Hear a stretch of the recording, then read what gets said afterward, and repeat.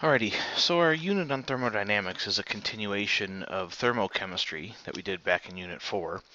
But thermodynamics, as it says here, is we're going to study the relationship between heat and other forms of energy that are involved in a chemical or physical process. Dynamic change, chemical physical change.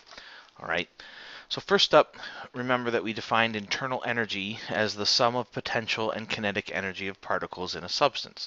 Now most of our chemicals are pretty much all potential energy, but there is some motion of electrons and whatnot, so there's a little bit of kinetic energy involved as well. But typically we're talking about potential. And we see here that the delta U, the change in the internal energy, just like any of our deltas, is the final minus initial. And internal energy, like enthalpy that we talked about and we'll talk about again, is a state function. Doesn't matter the path that we take to get there, we're always just interested in the difference between the final and initial values. And that's what it says here. Changes in internal energy are measured by noting exchanges of energy between the system and its surroundings, specifically heat and work. And so again, we have talked about heat in the past. Okay, heat that flows into the system will have a positive value. That's an endothermic process. Heat that flows out of the system to the surroundings will have a negative value. That's exothermic. Work is force times distance, and you'll spend a lot more time doing looking at different types of work and calculations in physics. But for us in chemistry, we're interested in pressure volume work. Specifically, when a reaction involves the production of a gas, we can figure out how much work the gas has to do against the atmosphere. And we can measure that in these little cylinders that allow a piston to move. And so that's the kind of work that we will look at. But just as a little summary, heat and work are positive. They have a positive value when heat is absorbed by the system or when work is done on the system. They have a negative value, heat when it's released by the system, and work when it's done by the system. And that, like I said, would be the gas in a reaction working on the atmosphere. So our first law of thermodynamics, don't talk about thermodynamics. Just kidding. Fight Club reference? Okay. The change in internal energy of a system is going to be equal to heat plus work.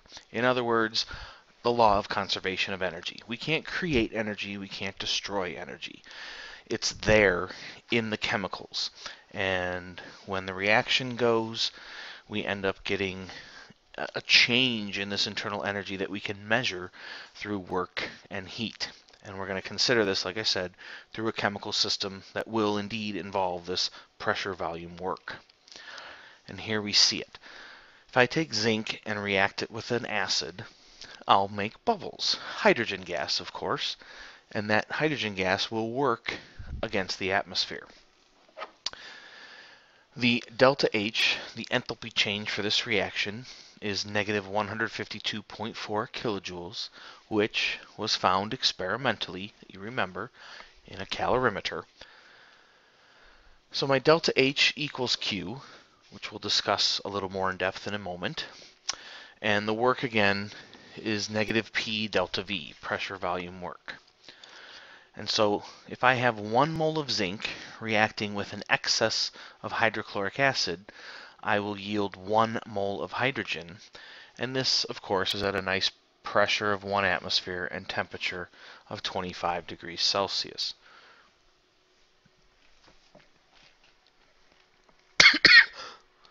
Sorry, little choking there.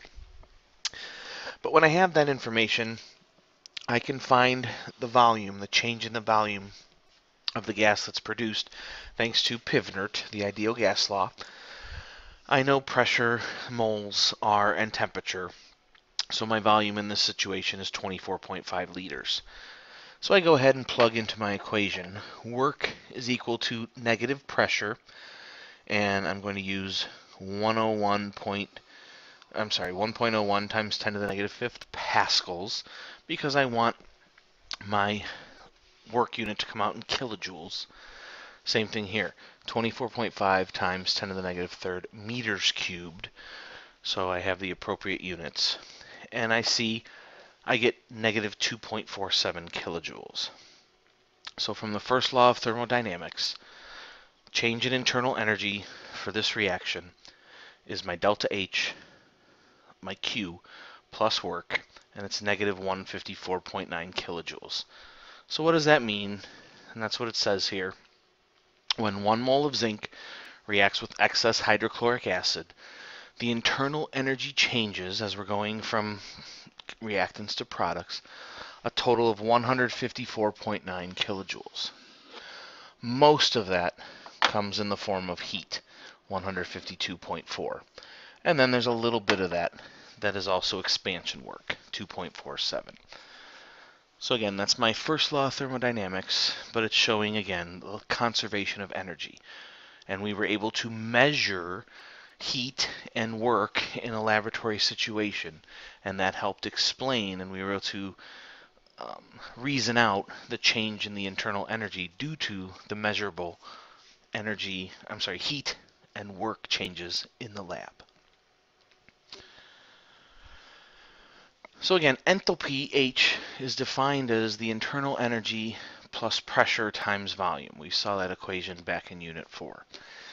So the change in internal energy, if I rearrange this equation and include the change symbol, the change in internal energy is delta H minus P delta V. If I rearrange again, I end up seeing that delta H is equal to the change in the internal energy plus P delta V. Now, if you have the notes packet, I fixed this a little here. There was a couple little typos that I didn't like. So, of course, my change in enthalpy is the final enthalpy minus the initial enthalpy. And you can say see that I have turned my UPV into final and initial.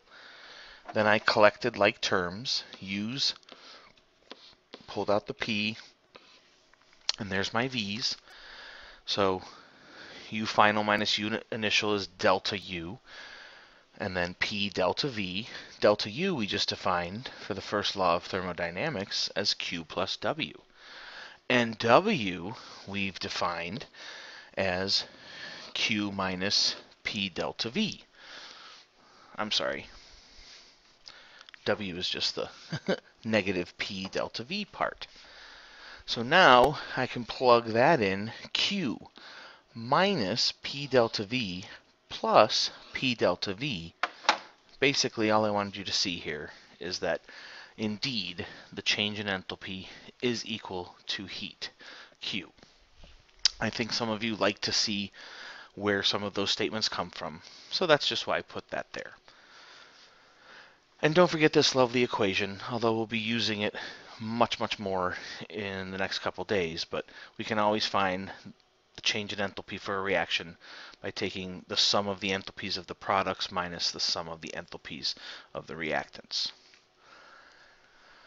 All right, so what we're going to look at here now is called a thermodynamically favored process.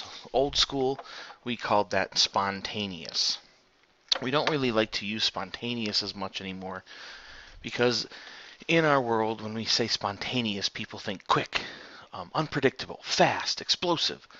But that's not always the case. We can have reactions in chemistry that are spontaneous that take thousands of years. Because, as it says there, a thermodynamically favored process is a physical or chemical change that will occur by itself and will continue until equilibrium is reached nothing to do with reaction rate or heat. We can have a thermo thermodynamically favored process that is slow. In fact, sometimes they don't even measure any rate. And this is typical when we have a very high activation energy. You might think the reaction is stuck at equilibrium like at the very beginning, but it's not. If we have a thermodynamically favored process that is not measuring any measurable rate, we say it is under kinetic control. And we'll explore this in more depth later. And the other thing to note here that we'll come back to and talk about, but just because a reaction is endothermic does not mean that it is automatically not thermodynamically favored. And we'll see some examples of that. But here's some visual representations without getting too in depth, but basically a ball or a rock will roll down a hill um, on its own. It cannot roll up a hill. That is not thermodynamically favored. Work would have to be done for that to happen. Iron, when it's exposed to oxygen and water, rusts on its own, thermodynamically favored, spontaneous process. You will never go out to your car and look and say, oh my gosh, the rust is gone. It spontaneously turned into iron. No, that would have to be done using chemical means and reactions and electrolysis or other ways to get it to go that direction. Same thing with heat. Heat flows from higher energy objects to lower. It will never go from lower to higher on its own. It can be forced with refrigerator pumps or whatnot, but not on its own. So will a chemical reaction go as it is written? Is it thermodynamically favored as it's written? And this is where we look at entropy. As you see there, it's a thermodynamic quantity. It's a measure of how dispersed the energy of a system is among all the different possible ways that that system can contain energy. All right, how much does the energy of our atoms or molecules become spread out during a process? Now, another evil connection is that people always want to say entropy is a measure of disorder. Fortunately for us in chemistry, we can allow that to be talked about because we should really only refer to entropy as a measure of disorder for molecular systems. You don't, physicists and other people don't like to use the term as a direct measure of disorder. But here you see a classic example. I've got a flask with a gas in it trapped on one side, and there's a valve keeping that gas there.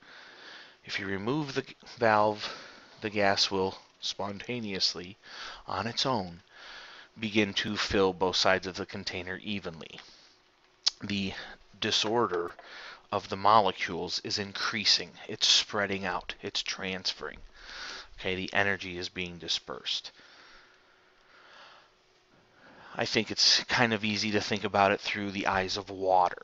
Okay, water that is ice is in a rigid structure, a nice honeycomb-like pattern, and one mole of ice at 273 Kelvin, 0 degrees Celsius, has a measured entropy of 41 joules per Kelvin.